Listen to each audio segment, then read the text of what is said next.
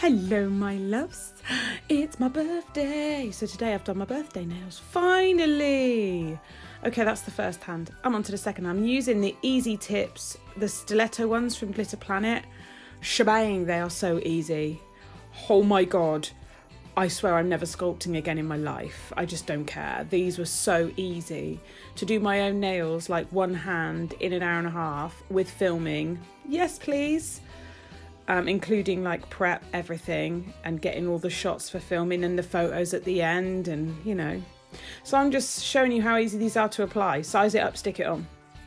There you go. The pinch stilettos i love but the problem is if you've got somebody with a flat nail bed they won't stick. Whereas these are super super thin and bendy and they stick like easy. Just size them up and stick them on I always buff the uh, contact area on the outside like to thin it down a little bit. That's just me because I am slightly obsessed with making sure there's no like lumps. But just easy. Honestly, they are easy. And they're so long, which is great. Although my plan was to have them full length stilettos.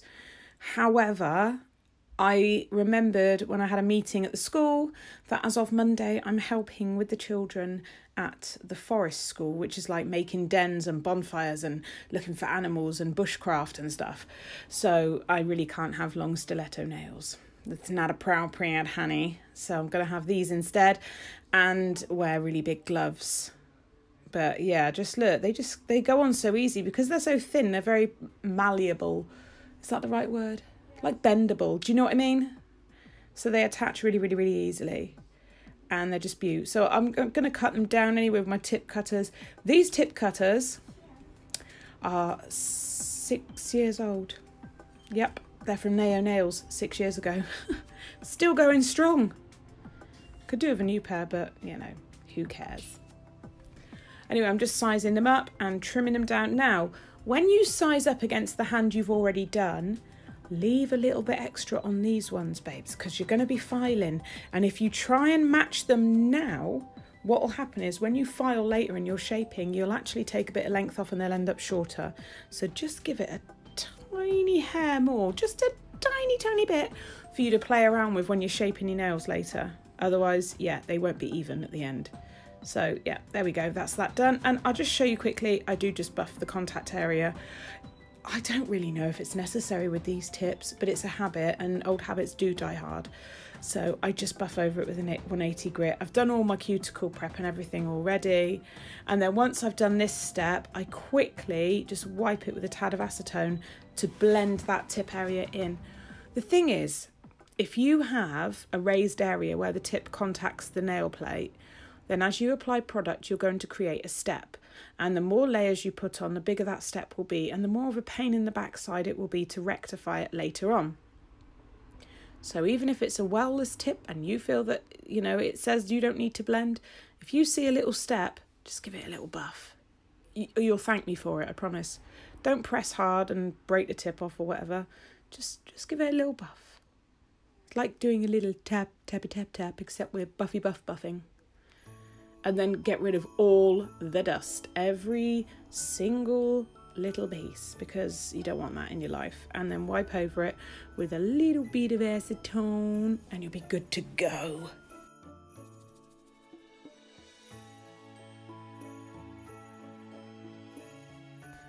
Okay, then we're to dehydrate and prime. Can you hear my cat snoring?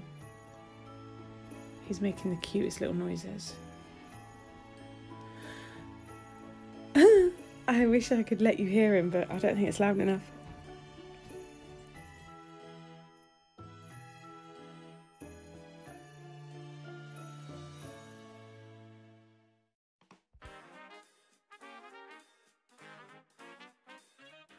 Okie dokie. So now I'm going to put my clear base down and I want you to spot the obvious mistake that I made.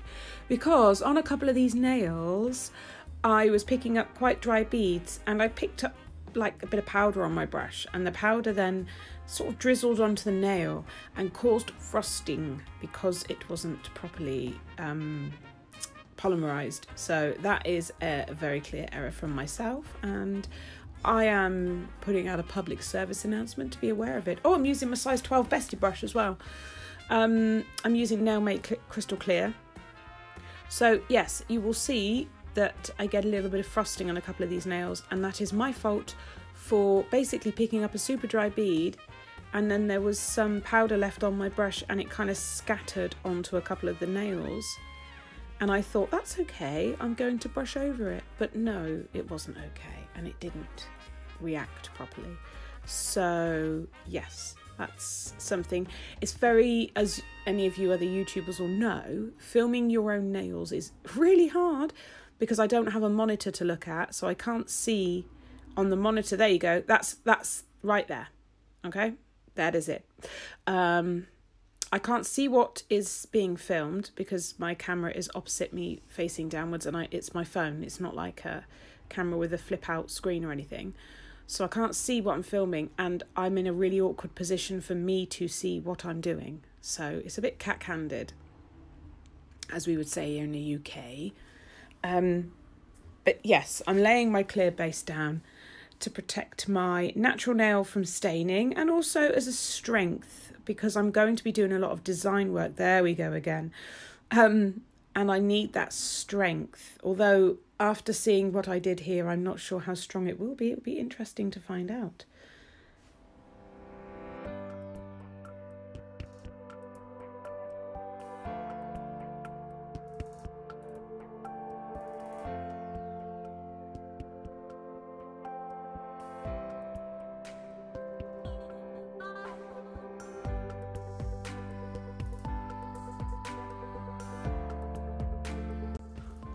Alrighty then, so once this is done, I'm going to be showing you what I'm using from Nail Visions Up in Smoke, Unicorn's Horn, beautiful colours, and Lilac Pastel. These are available on her Facebook page. Also, I'm using Nailmate's Toasted Rose. I'm just going to shape these tips just quickly. I literally just gave them a whiz over with my steel file. Um, yeah, Nail Vision powders are available on her website. She sent me loads to try um, a few months back, and I'm still kind of going through them when I do designs, and, and these colours just fitted in perfectly with the crystals I wanted to showcase in today's design because these were inspired by the newly released colour shifting Swarovski crystals that are unique to angel crystals only. Okay, they're amazing. You'll see them at the end, but they are unique to angel crystals only. And I've got some. right, I'm putting unicorn horn down first. It's a beautiful marshmallow pink coloured acrylic with iridescent and matte little glitter dots in it. It's so freaking cute. Like, so cute. These are design powders because they're highly, highly pigmented. So if a powder is highly pigmented, nine times out of 10, it's design only because there's not enough acrylic in the mix to give you that strength that you need.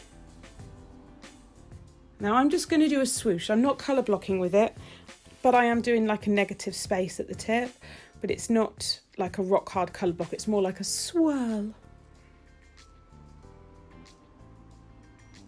This is like a pinky, lilac-y, wintry set. It's just gorgeous. I haven't had a set of nails either. I haven't had a set of nails since September that match. Since the first week of September, so praise the Lord, I have some now. Okay, so I'm just building up the opacity. It doesn't take a lot really, just a little bit. just like, yeah, popping it here and there.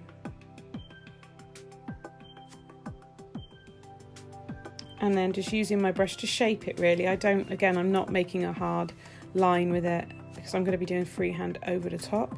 On to the next now, and this is, what did I say it was? Up in Smoke or something like, I'll put the names in the description box. This is the darkest of the three. It's like a smoky mauvey grey. It's beautiful. Highly, highly pigmented. There's a lot of pigment in this.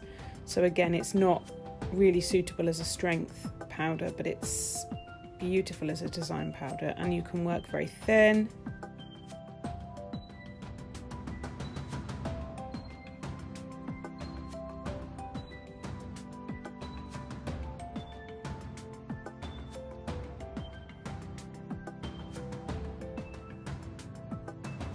So I'm literally just feathering that down to the tip, making sure I've got a nice even coverage, making sure it's not thick or bulky we're going to do an ombre on this nail, so I'll let it set once, I've, once I'm happy with the coverage on this particular colour.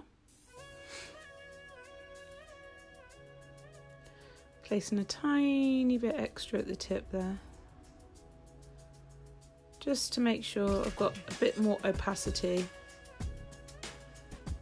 and then I'll turn my brush around and blend it back with kind of like the underneath tip of the brush, not with the tip. You blend you, with your brush tilted too far upwards or pointing down towards the nail, you will just scoop. Really common thing I see with my students. And if you guys are watching, you know exactly what I mean, don't you? You know what I mean. It's the brush angle. It's all in the brush angle and the file angle. So I'm just going to do a marble on this nail. So I've literally just, I'm using Valentino Soft Touch and Up in Smoke from Nail Visions. And I'm just creating a little swoosh at the cuticle there to make it neat. And then I'm going to do Valentino Soft Touch, Nail Vision Up in Smoke, then Valentino Soft Touch again, and then Lilac Pastel, or Pastel Lilac from Nail Vision. So four beads. And you don't place them on top of each other, you place them just down below, like in front of. So they're going. Do you see what I mean? It's hard to explain. It's easier to show people when they come and sort of under their training. One of the one things people want to do is marble. I try to show people the swooshy marble instead because it is easier. But if you want to do a marble like this, it's just to do your bead placement really. I would say if you're just starting out with marble, probably a swooshy is the easiest, and then this marble is like next on your list. So as that polymerizes and starts to set up a little bit, it's a lot easier to move it into place without ruining your blend and your marble. If you do it too soon, or if your brush is too wet, then you will literally just create a brown colour more than likely. So yeah, be aware that you don't want to move it too much yet. And then I'm just going in with a little bit of unicorn's horn to include it within the design a little bit more.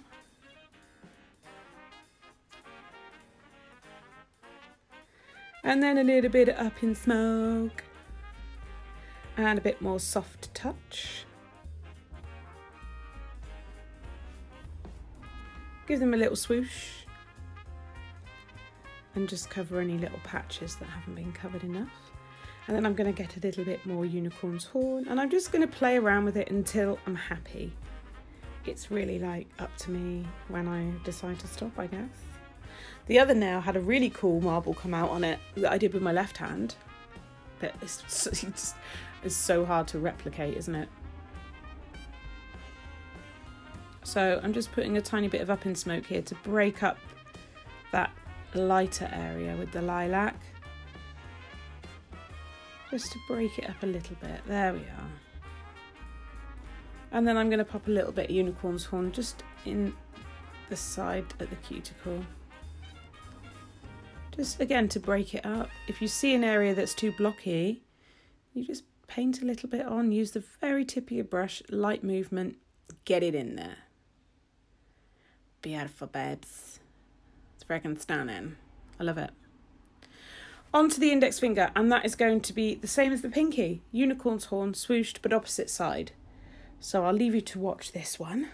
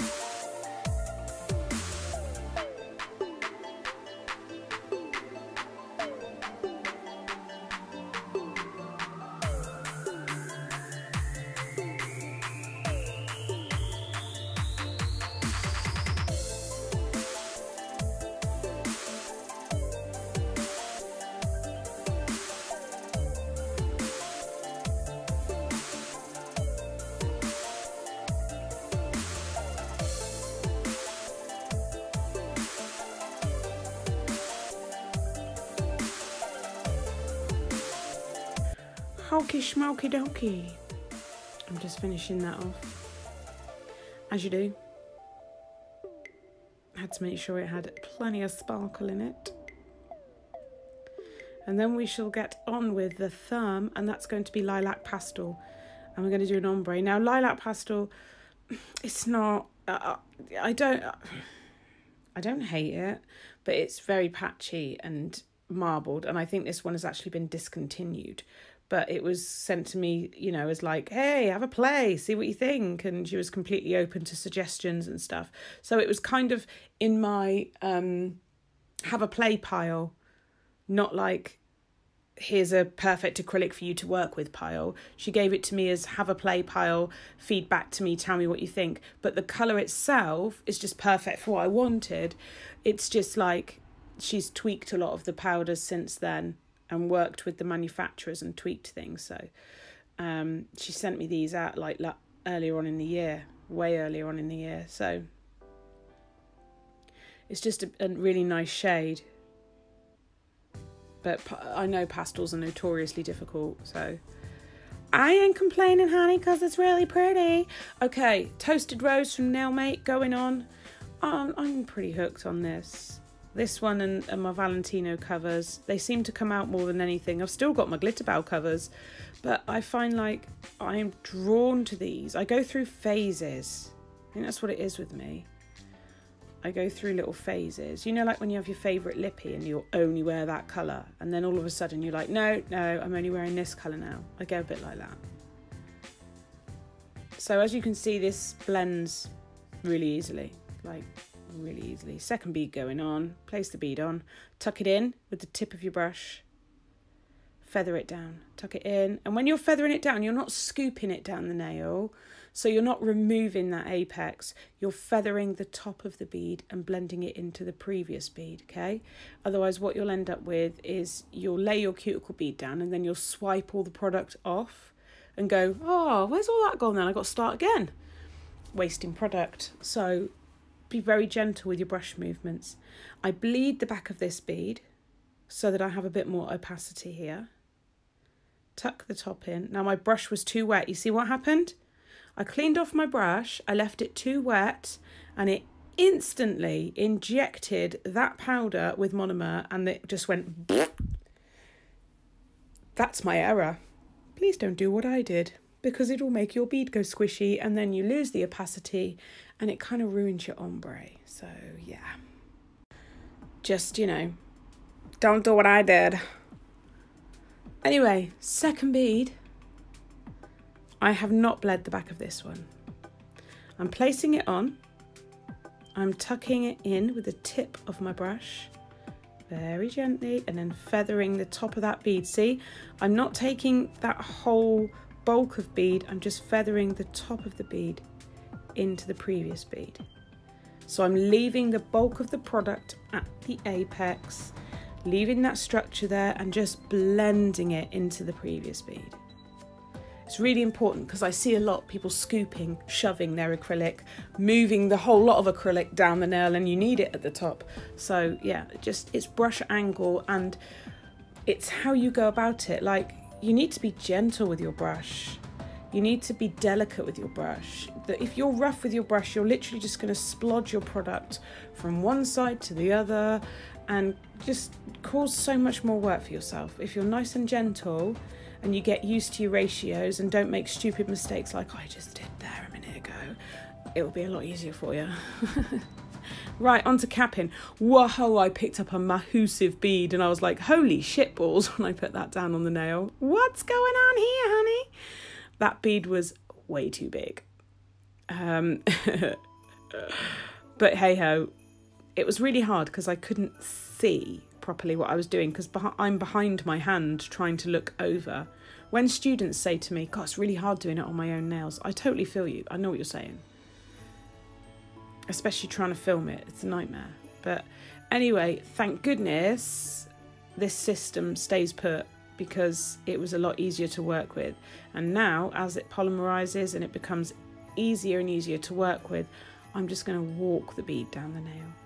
Just tuck it in and walk it down the nail. And I never, ever have problems with air bubbles anymore. I'm so happy. When I want clear acrylic, I get clear acrylic, not bubbly. Hallelujah.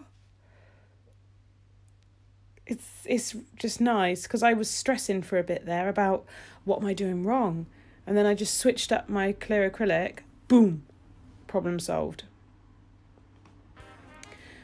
Placing that bead on, it stays put.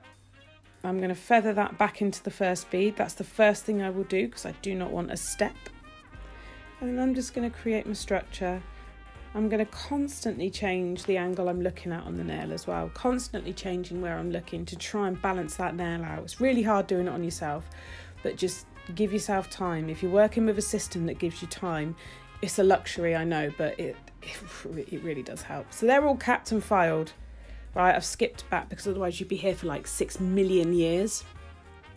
And we got some sparkly shit to get on with. These are the colour shifting Swarovskis. They look clear. Oh, no, they don't. They look lilac. Oh, no, they look clear. They are amazing. And I'm going to be using these AB raindrops. These are the smaller ones. And these clear Navette flatbacks. So these brand new lilac luster color shift Swarovskis, like I said, they're unique to angel crystals. They are absolutely stunning. I've had these in my drawer waiting to do a release video for you guys. They are released. I have got a discount code and I believe they've got a Black Friday sale on, but I don't know when it finishes. So you might get 15% off if you catch it in time, but I don't know when that finishes. And it's so cool because it looks like you've got different, like normally you might use clear and the lilac to create a little design, but these shift on their own. So you don't need to, you just need one type of crystal. Hello so clever. I keep staring at them.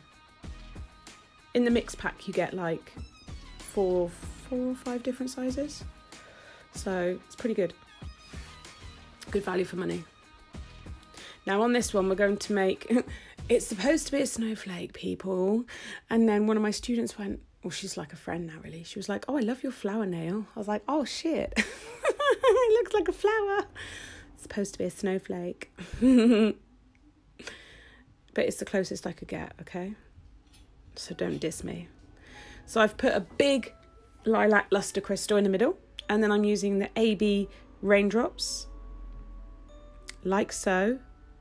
So top, bottom, side and side. Now, I have really skinny nails. It's about the only part of me that is skinny. Really skinny nails. So when I try and do the crystals at the side, they're actually longer than the space. So I'll show you how to um, how to get over that because it's yeah it's a pain in the ass if you've got skinny nails. I don't know why I couldn't have. I'd rather have fat nails than a skinny waistline. I just tilt my crystals up so they slightly go over that central crystal. Can you see? Because there's no way they're going to fit there otherwise. I hate having skinny nails because I don't have enough real estate to work on. Do you know? You know, I haven't got enough space. But yes, I anchor them upwards and then later on I fill the gaps with my top coat and give it a really good cure. Then I'm going in with the little clear Navette flatbacks. See, I thought they looked like little snow, but they do look like flowers though, don't they? Never mind. It's the thought that counts. I haven't stopped jabbering today. It's because I'm all hyped up because it's, it's my B-day and I've had loads and loads of coffee as well. I'm absolutely knackered, but I'm like, like that. My brain's going really fast. Sorry, I got interrupted by a small person. Little Oliver Lee. Right, my snowflower. it's pretty. It sparkles like, oh my god. It sparkles so much. I'm in love with these nails. And because of the tips being so strong, I feel like these nails are like probably the skinniest nails I've ever done. Like they're not bulky at all. They're really nice. Okay, some more of the lilac luster colour shifting crystals. Listen, I'm just in love. Look at it. One minute it's clear, next. I, how do they do that? I need to know. It's going to be like a mystery that will stress me out for the rest of my life. Seriously, how do they? I'm going to ask. You don't ask, you don't know, do you? So I'm going to ask how they make them. I know how they make Swarovskis because I went to Swarovski head, headquarters in London and they taught us all about it. But I want to know how they make these ones because these are special. And then on on on the uh, on on on on the index finger, I'm doing the same as the little finger, just going down in size. That's not the biggest. That's like second from biggest or something. So that's so pretty, pretty, pretty. And then after this, I shall top coat and then we'll do some freehand because I'm sugaring. And I found it easier to top coat first. So there you go, all sparkly and beautiful. Oh my god. Okay, I'm going in with Nail Mate Super gloss. And look at that. Bing! And I will do the underneath of this nail as well. Not too much, just a little bit, just to give that clarity. Pretty. And then I'm going to take my detailer brush and tuck it in around those crystals, just as an extra security blanket from day-to-day wear and tear. It works really well alongside the Angel Crystals adhesive. Quick tip, wait for your adhesive to dry fully before applying top coat or it will ruin your top coat. So as you can see, this is quite a complicated one to do. So I'm literally doing a little bit with the brush and then the majority of this nail is filled in using a detailer brush. I've sped it up because it's quite painstaking, but it is necessary. You really need to take your time with this step to ensure, number one, extra adhesion. So that top coat is going to really help to stick those crystals in on top of the adhesive and stop anything getting underneath them, but also the reason you've got to be so careful is because if you top coat over the top of the crystals, I've said it a million times, you will lose the facets that cause that beautiful shimmer and shine. They will be gone forever. Don't do it. When I see people like top coat over crystals, I'm like, can't, can't, can't compute. Why would you do that?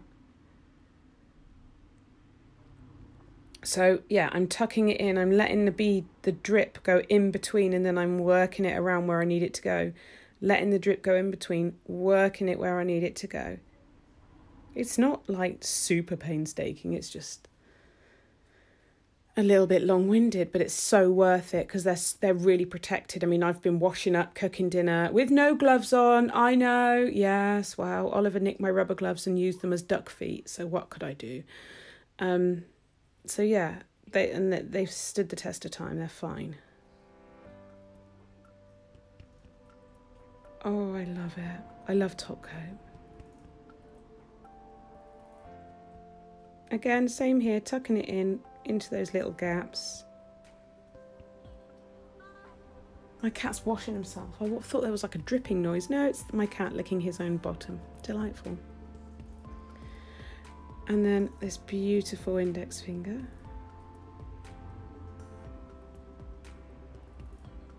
Very pretty. And my thumb. The thumbs I just left like this because they were pretty simple and I just left them. I thought, yeah, they'll do.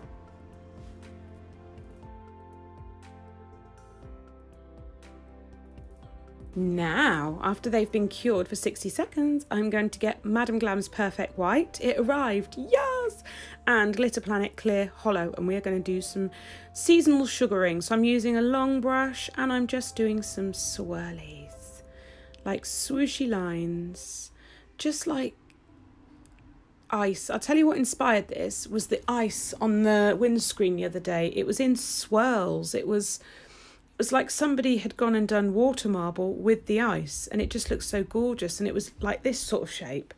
So I decided to mimic it with um, sugaring. I'll tell you how, I'll let you know how it stands up because I've got like obviously forest school tomorrow and all that sort of stuff with the kids. So it'll either last or it won't. But I sprinkle over the clear holo, which is perfect for this. And then I'll cure that and I'll cure it for 60 seconds. So I'm going to do the same on the index finger. Just do a swirly whirly woo. Just all like nice and cute. Something a bit different. There we are. Give that a little sugar and stick it in the lamp. And then I will brush off the excess, oil them up, and I'll show you the finished design. I hope you like it. Thank you for watching. Tally bye!